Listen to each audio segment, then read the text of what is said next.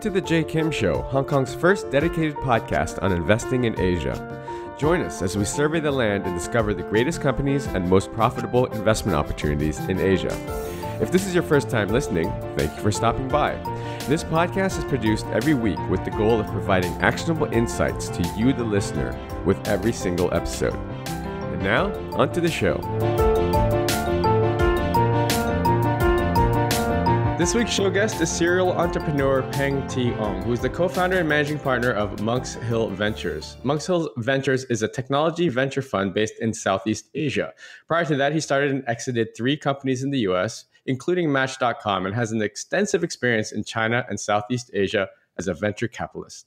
Peng, welcome to the show. Thanks, Jay.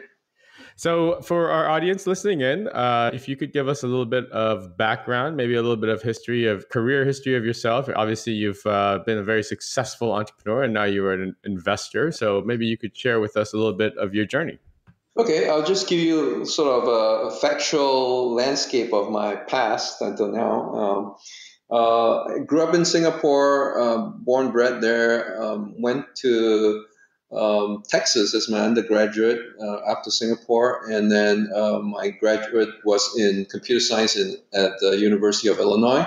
Started working at startups right after school, uh, after grad school, and uh, ended up in the Bay Area and um, in several startups, and then finally started one with uh, my first uh, startup partner, Gary Kremen, and that was basically what became Match.com.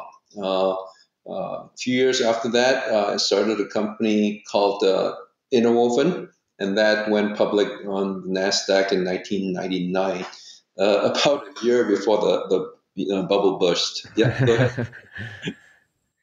Yeah. Excellent. Yeah. Um, so so obviously, uh, you know, very very well seasoned and experienced. What uh, what was the reason that you decided to go into sort of startups and tech right out of school? Um, and and and you know, I asked this because a, a large part of our audience is is uh, is from Asia or has Asian heritage, and uh, it's not necessarily the conventional path.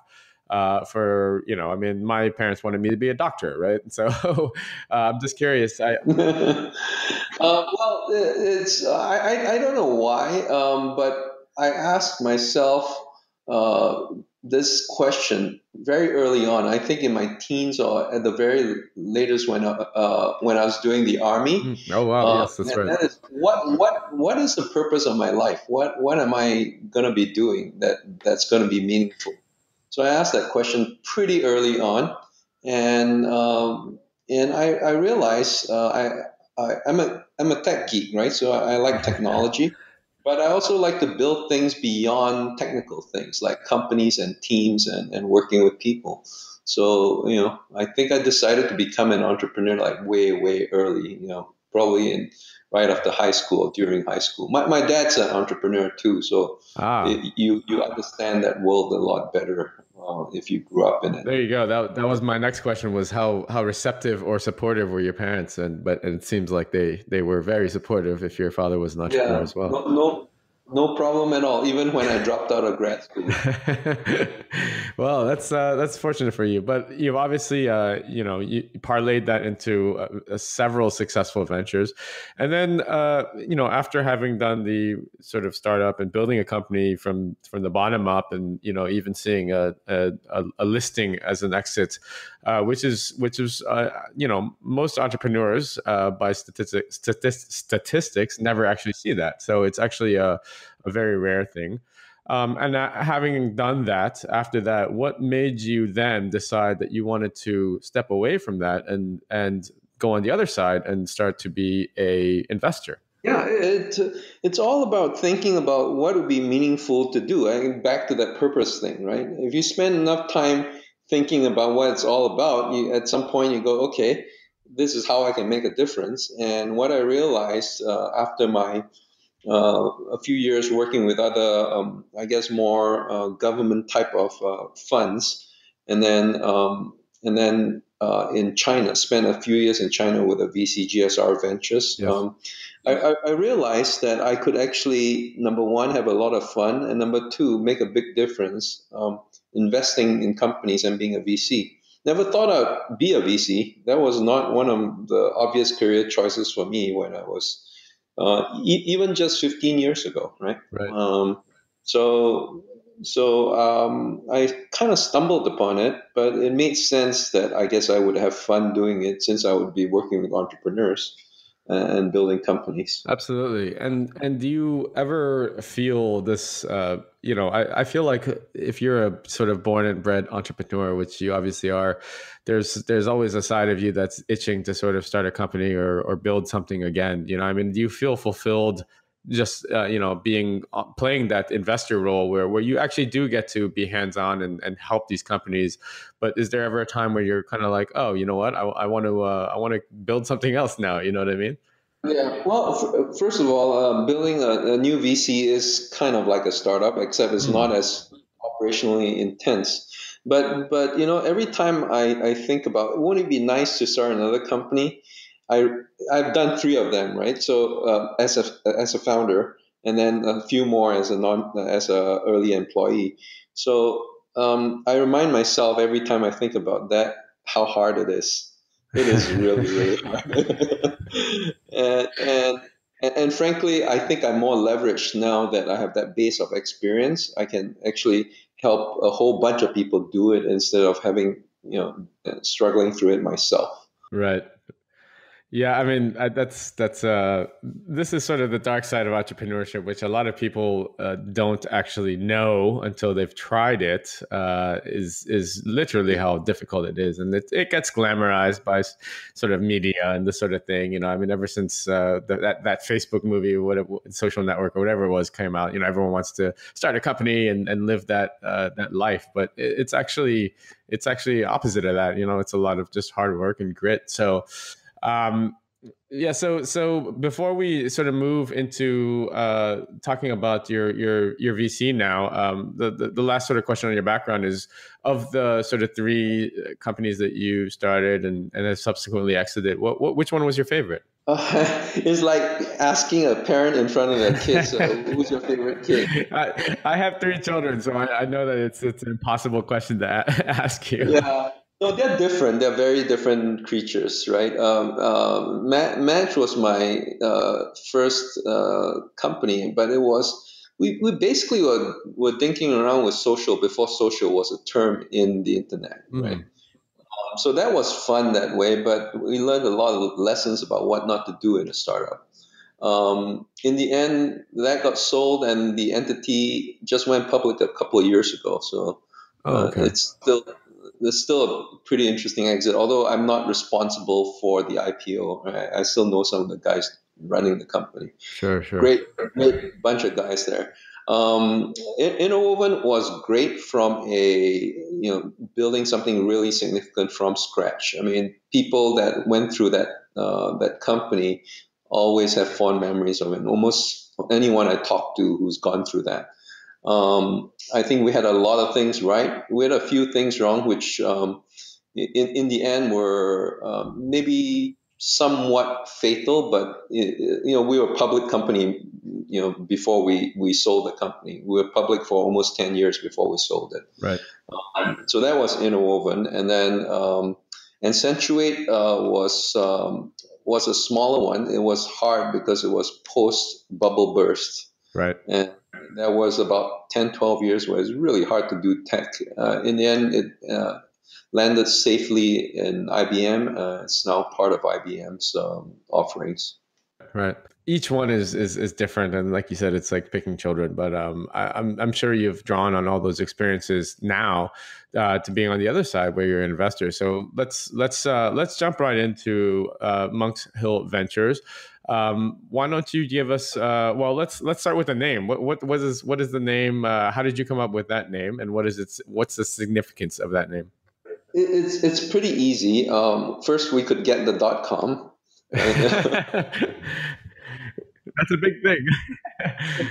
yes, it's a big thing. Um, we, uh, both Kuo-Yi, my partner, and I have uh, uh, gone through the school. I, I, went there for my high school, and he went there for his uh, German classes. Mm. So hmm. we both spent at some parts of our life, at some points in our life, about four years uh, through that through that system. Um, it's a school. It was a school. It's no longer, and and we thought we'd keep the name alive. Mm. It's uh, monks uh, gives a you know there's a lot of historical innovations uh, related to, to monks actually both in the east and the west so right. we thought that was sort of relevant to the business we were in and ultimately um, this is probably less known outside of singapore Monk's Hill is is actually not one of the top schools in singapore hmm. uh, it's a it's a reasonable high school, but we call it a neighborhood school, right?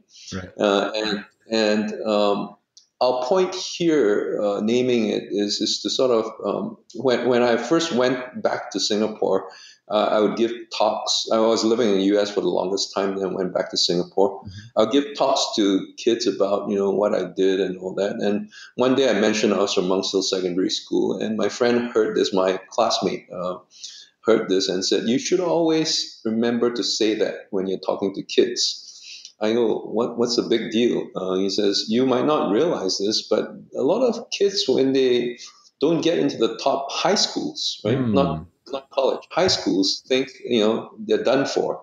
And right. the point is, you know, you, you can go to an average high school and still do really, really well. Your, your life is not over at high school.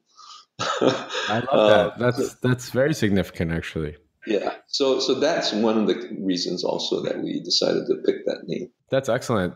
Yeah, I mean, I think that uh, you know, especially now with with the way the world is turning, and and with the advent of the internet and, and this sort of thing, you know, I mean, I don't know if traditional sort of, uh, I mean, look, you're from Singapore. I, I live in Hong Kong. I'm, i have three kids. I yeah. know exactly what the uh, the struggle is with with sort of getting in schools and this sort of thing. But um, I, I, think that's great, uh, a great name that you picked. And then how about sort of a a mission statement or or a goal, like a strategic vision that you and your partner had? I mean, what what there must have been something from the get go. I mean, it wasn't just kind of like, oh, you know, let's just get in the VC game and let's uh, roll the dice and see what we can do, right? What was your sort of mission from the beginning? I, am doing this very simple. I want to build Southeast Asian globals. I want to help build Southeast Asian globals, meaning companies that were built in Southeast Asia, started mm. in hmm. Southeast Asia, but are global names. Right. right? You know, it, it, it's like how LinkedIn is a global name. It's like how Baidu is a global name, right? Right.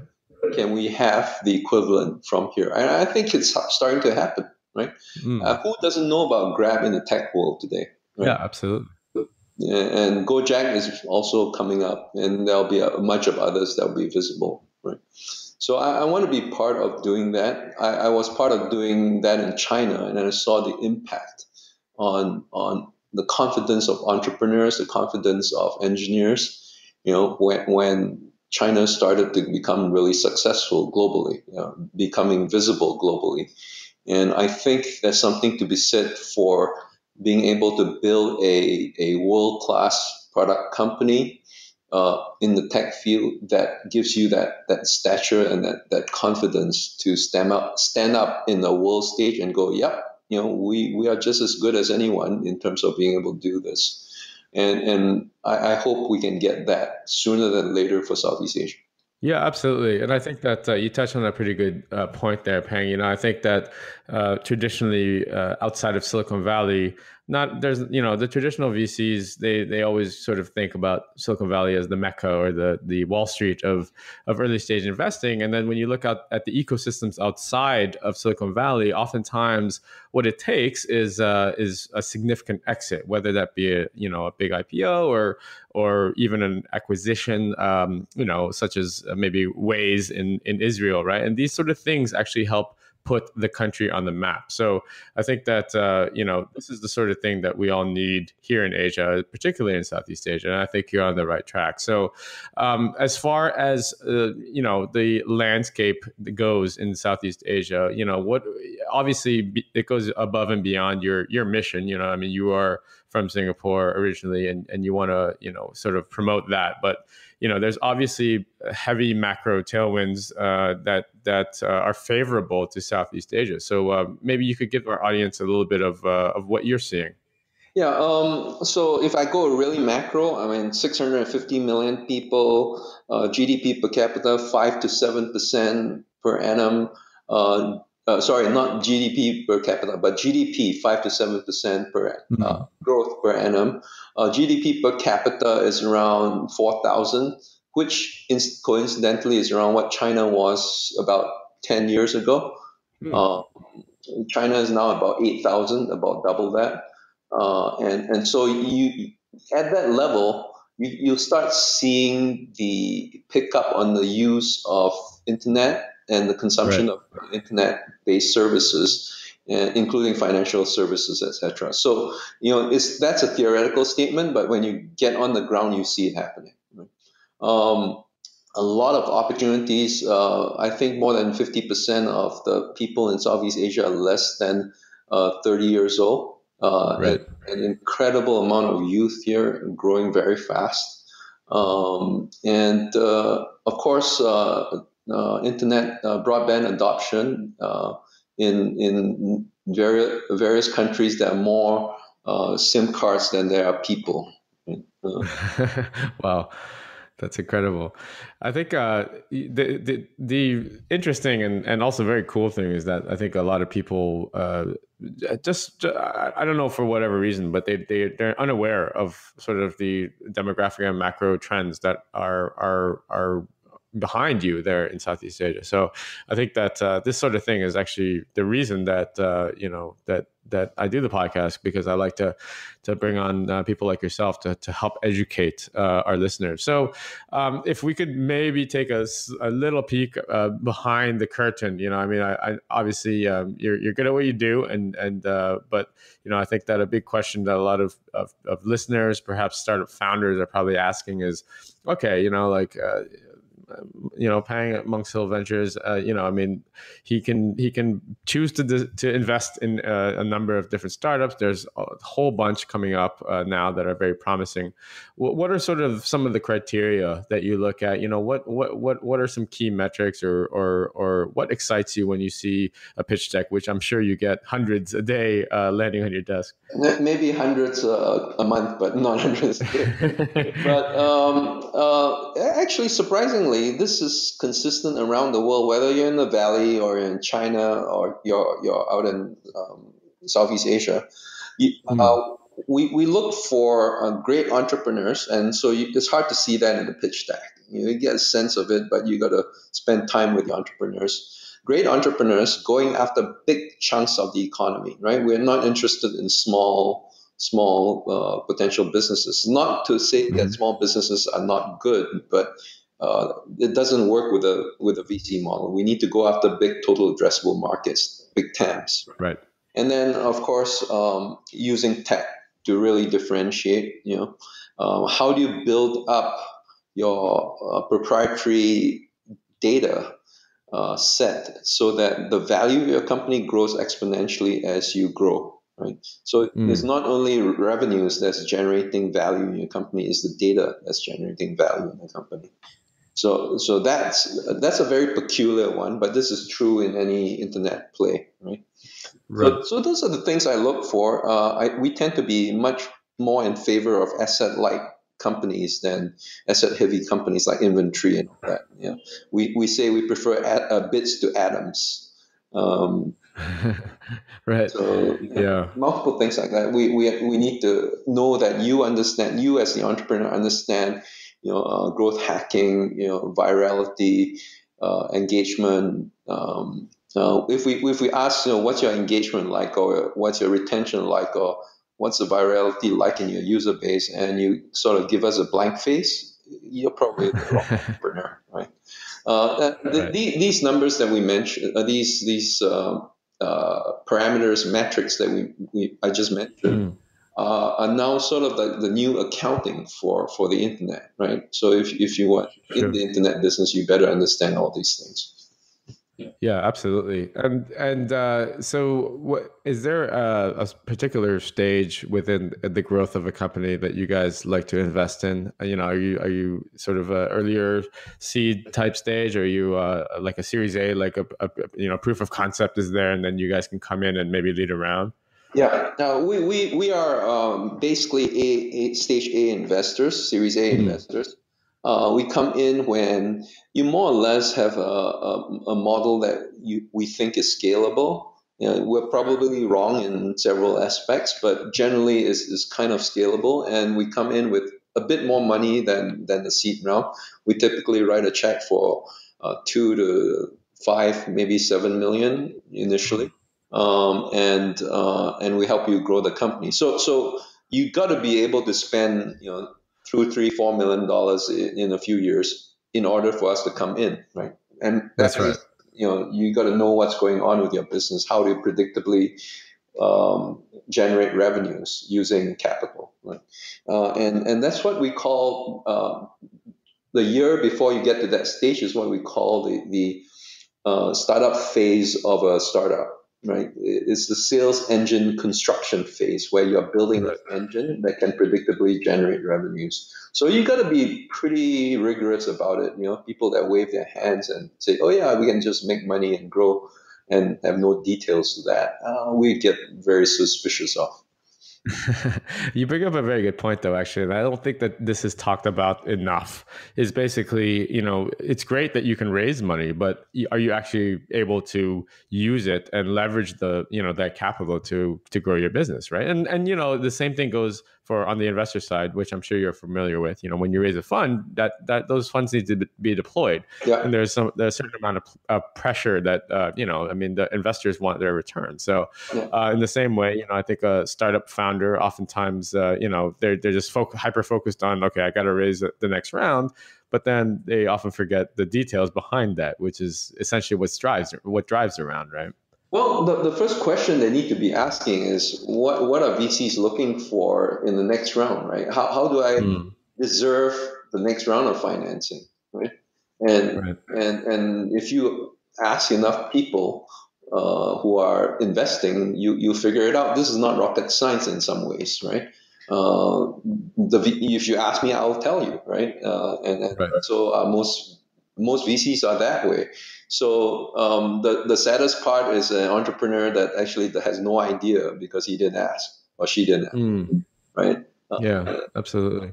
And how sort of hands-on is uh, is Monk's Hill Ventures with uh, you know the actual portfolio company? You know, are they are are you guys very aggressive with sort of uh, trying to to leverage uh, non-financial resources as well to help the growth of the company, or you, you guys take sort of a more backseat and let them sort of uh, just use the capital to to figure it out their, themselves? If if we have to be hands too hands on uh, it means we screwed up on the investment. We shouldn't have invested. We need people who could, the, the CEO that we invest in or the, the founder that we invest in, we want to see the potential of that person running a $100 million a year business or more. Mm. So that's a huge right. business. 100 million in revenues is a huge business, right?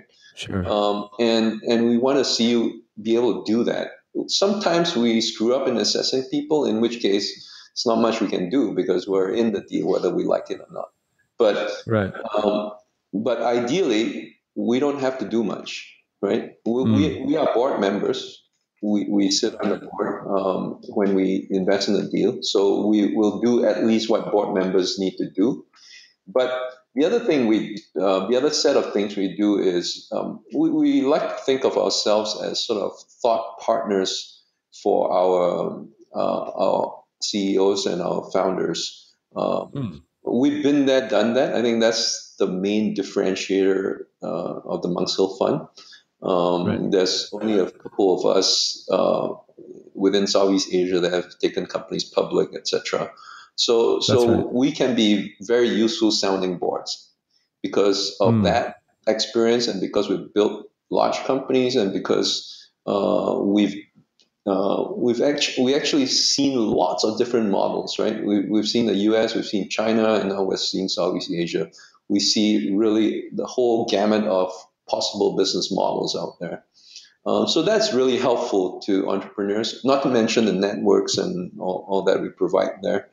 But ultimately, we tend, and this is the lesson I learned as a um, the first time VC many years ago, is the CEO is no longer you, right? No longer me. Um, right. You are a supporter. So stop telling the CEO what to do. giving them whatever they want, you know, to to figure it out, right? If they want advice, you give them advice. If they don't want your advice, then you know, don't don't need to give them advice unless you see them hitting for the cliff or something. Um, hey, it's a cliff. That's uh, I want to know. Uh, no, absolutely, absolutely, and and and everyone, everyone, every investor wants to protect their investments, so you can understand that side of it. But you know, at the same time, you know, you, you got to let the founder do his thing yeah. as well. So you know, one one uh, very experienced VC said to me once, um, this was in China. You know, sometimes it's better to uh, bite your tongue and let the CEO make a million dollar mistake and learn from it instead of let you know trying to stop all that and then he doesn't learn the lesson and then five years later it's a hundred million dollar mistake. Wow. Yeah. So so it is tough. You have to bite your tongue while the ceo is making mistakes that cost money uh, sometimes right? If it's below the waterline then you try and stop the hole from being formed. But uh, if it's above the waterline you just let him blow the hole in the hull and hopefully it doesn't cost too much to fix that's a very sort of uh, uh, almost spiritual way of thinking about uh, it, but I, I, like it. I like it. it. it. might be spiritual. It might be spiritual, but you know, this is how money, big money gets Absolutely. made. Also, one hundred percent. So I guess making money is spiritual. yes, it is for many people. So, Peng, on the on the flip side of this, uh, maybe maybe you could uh, shed some some light or share some of your your knowledge and insight. Let's say I'm an investor and I'm looking into Southeast Asia, and obviously, uh, you know, like you said, there are very few experienced uh, investors on that that are doing what you're doing that actually have experience you know having exited and, and know the, know both sides of the coin. If if you're if i'm a, a vc that wants to come into southeast asia what what are some you know a couple things that i should look out for? What are some trends that you might see in the you know that you see in the next five to ten years that maybe we should look out for? Yeah, um, so uh, I, I, think more important than trends, uh, because trends will change and technology will change trends, etc., uh, is is actually fundamentally what you need to do. So if you are an existing VC in some of the uh, ge- geography, you understand how to run a VC fund. So what you want, uh, you don't need more people that understand how to run a VC fund. What you want is uh, are people who who understand the local scene.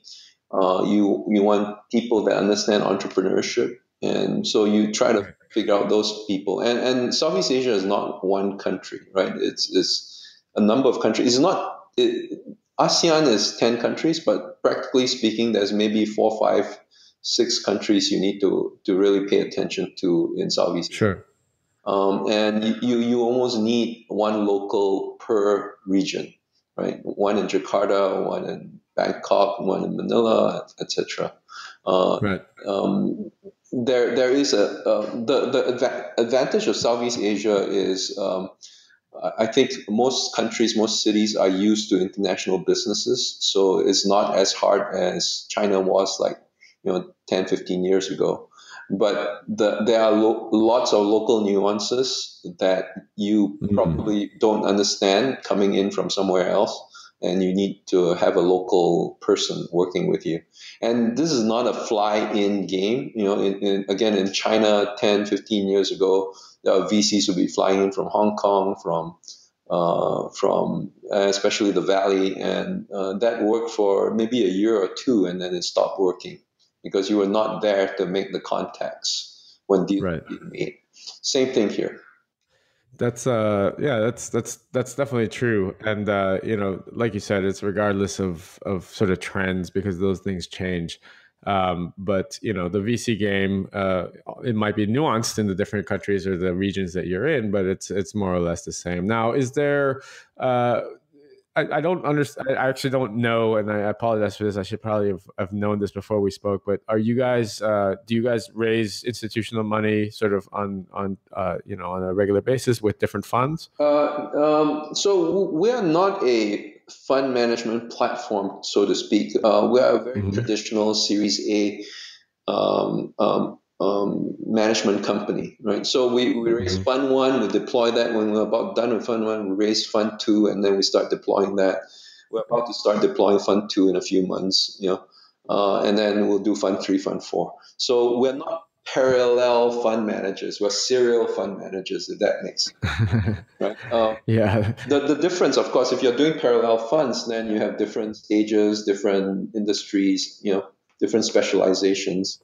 And, you, and your skill becomes uh, finding fund managers as opposed to running the funds yourself, right? We enjoy right. Series A investing a bit too much to do that at this point. yeah, you got yeah. You don't want to be step away too far from the uh, the action. Right? Yeah.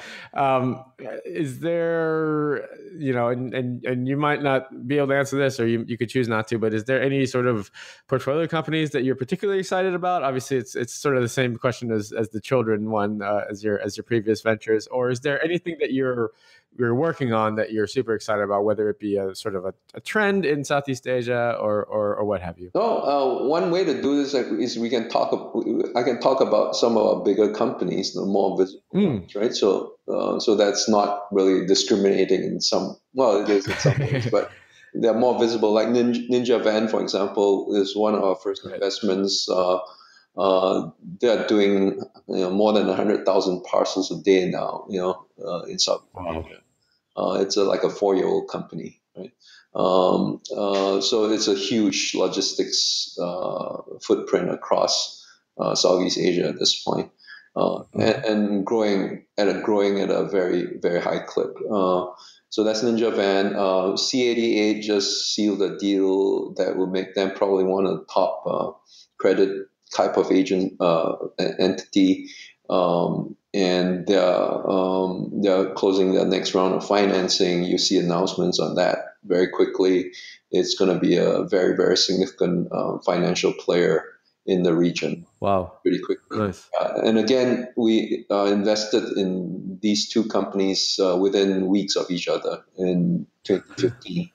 right. Um, uh, there are other bigger companies, big companies also. KKday, for example, based out of uh, Taipei, uh, but they are. Oh, sure, yeah. Yeah, the Southeast Asian business is huge. You know, uh, they're, they're uh, also doing large uh, revenues. I'm not sure if they've announced a number, so I can't. It is double-digit millions. Um, and excellent. So doing very very well. Um, uh, for a fund that is three years and, and a month uh, and a quarter, uh, I think we're doing okay. I, I, think our, our everyone listening in would, would probably agree with you there, Peng. Um, so as we look to wrap up, and and again, thank you so much for your time and sharing your your insights and and knowledge. Uh, and it's just been a fascinating hearing about your journey. Um, I, I sort of have two two questions left. One of them, uh, you know, the second to last one is essentially, look, I mean, you've you've been on both sides of the coin as we discussed. You've been a serial entrepreneur with very very uh, you know successful exits. Now you're an investor. If you had to give one piece of advice to a aspiring entrepreneur or maybe a, a startup founder right now who might be you know in Southeast Asia or maybe he's just looking to to emulate your success on your three companies, what would that be? Be clear about how you're going to make impact. Mm. The, the, the, lack of clarity is what kills a lot of businesses. You know, they, they have fuzzy thinking. Right.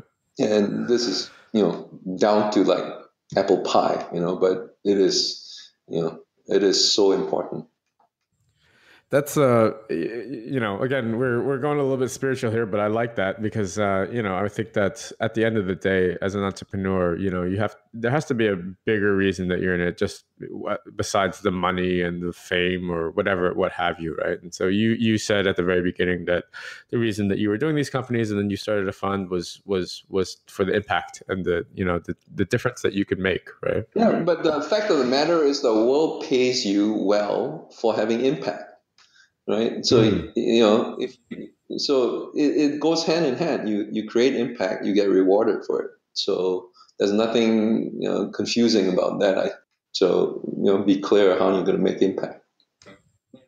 The last question I have for you, Peng, is is basically look, if I'm a startup that wants to get uh, in front of you uh, on your desk, uh, or if I listen to this podcast and I just want to connect and learn a little bit more about Monk's Hill, or or potentially, you know, uh, what what you guys are investing in, what is the best place to to do that?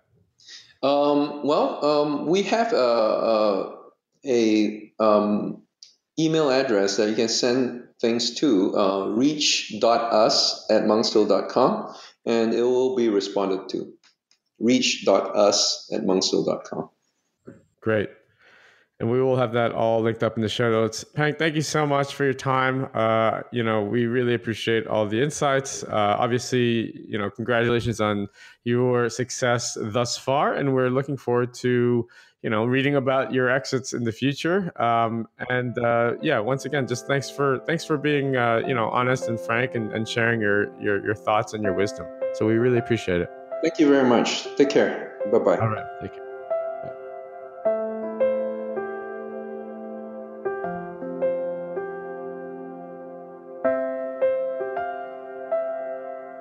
I hope you enjoyed today's episode. All the show notes and links can be found over at jaykimshow.com. Come back often and make sure you subscribe, rate, and review. Don't forget to join us next week for another exciting episode of The Jay Kim Show. I'd love to hear your comments. You can find me on Twitter at jaykimmer, J A Y K I M M E R. See you guys next week.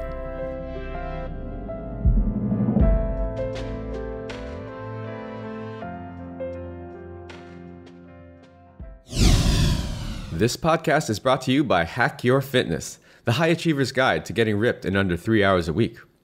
If you're anything like me, you're probably working a full time job or jobs and trying to find time to balance family life, social life, and last but not least, fitness.